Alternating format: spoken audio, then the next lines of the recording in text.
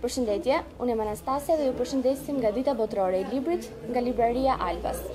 Unë kam zgjedhur të lexoj sot një fragment nga libri Fëmijëri e thinjur i autores Zhaneta Barxhaj. Ata që ishin pak më të rritur, ia kishin dalë të rrëmbenin nga arkat armë të gjata si pushkë që mezi i tërhiqnin të përpjetave të rrugës. Disa të tjerë kishin mbushur duart me kuti plot copa hekuri të vockla, ngjyrë floriri, si shishe peniciline. Ishin fishekë të vërtetë! Nuk e kuptuam çfarë ndodhi, vetëm ecnim të djersitur për në lagje.